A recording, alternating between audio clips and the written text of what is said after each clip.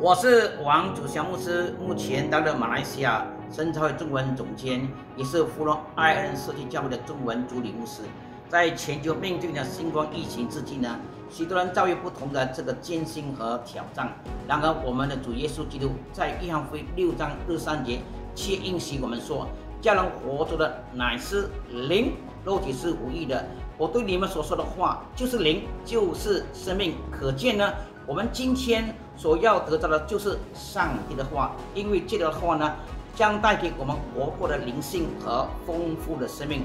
如今呢，我们所渴望的、所追求的事呢，就是高尚及有永恒价值的事，那就是圣经上帝的话语。因为在圣经里面有得胜及呢永生的盼望。马太福音第二十四章三十五节，耶稣这样说呢：天地要废弃，我的话却不。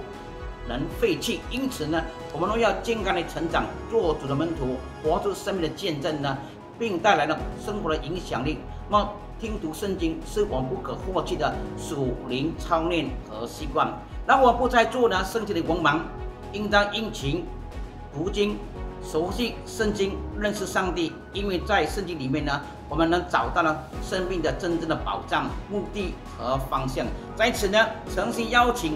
大家参加于今年三月二日到四月十七日所举行的 One 二零二二圣经聆听和观看挑战读经运动，让我们一起聆听，一起学习圣经，一同领受信心的应许呢？因为信道是从听到来，听到是从基督的话来的。愿主祝福大家